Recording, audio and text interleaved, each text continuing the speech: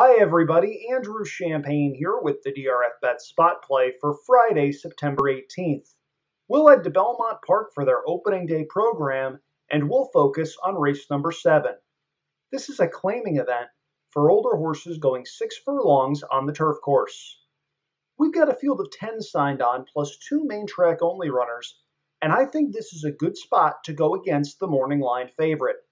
Number 8 Red Mule was third at this level last time out at Saratoga and didn't seem to have any excuses.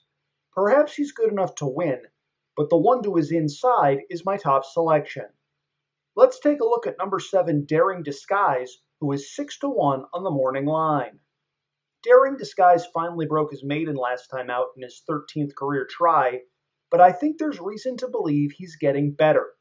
That was his third start off of a long layoff, which also included a trainer switch to H. James Bond, and he stepped forward with every subsequent effort.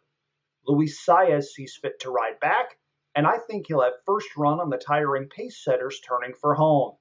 That sort of trip would make Daring Disguise very dangerous in this spot, and between the likely race shape and his improving trajectory, I think he's got a big shot. That's horse number seven in race number seven on opening day at Belmont Park. I'm Andrew Champagne, and this has been the DRF Bets Spot Play for Friday, September 18th.